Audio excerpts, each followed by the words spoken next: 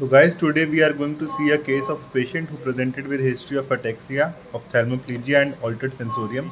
This is a classical triad of Bickerstaff encephalitis. So in view of this, an MRI brain was done and let us have a look at the MRI brain finding. On T2 weighted images, we can see that there is hyperintensity seen within the midbrain, within the pons and bilateral cerebellar hemisphere. Along with that, we can see that there is a hypointense lesion seen within the pons and the lesion shows peripheral enhancement on post-contrast images. Edema can also be seen on the FLAIR images as hyperintensity and an MRS was done and MRS revealed that there was a lipid lactate peak. So guys, this is a classical case of pontine tuberculoma.